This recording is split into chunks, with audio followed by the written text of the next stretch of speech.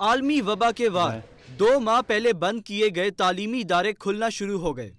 नौवीं से बारहवीं जमात की क्लासेस लग गईं। तलबा क्लासेस में पहुँचे तो स्कूलों की रौनकें बहाल हो गईं।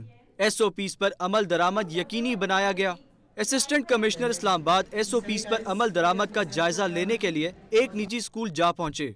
जैसे कि सेहत पे कोई कंप्रोमाइज़ नहीं हो सकता है और कोविड इज़ अ रियलिटी तो इस पर डेफिनेटली इस पर स्ट्रिक्ट एक्शन है। इस पर 144 लगी होती है और जिसके जिसके अगर कोई इसकी वॉलेशन होती है तो 188 की कार्रवाई होती है।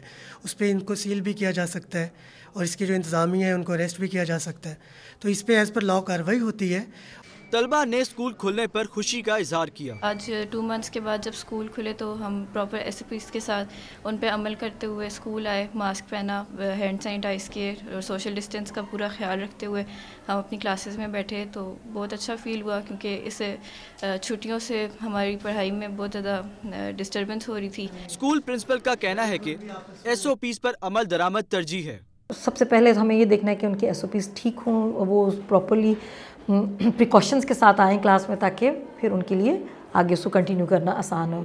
नौवीं से बारहवीं तक की क्लासेस के बाद अगला मरहला पहली से आठवीं तक की क्लासेस और यूनिवर्सिटीज खुलने का है, जो यकम फरवरी से खुलेंगी। कैमरामैन इरफान अहमद के साथ तुराब नकवी, हम न्यूज़ इस्लामाबाद।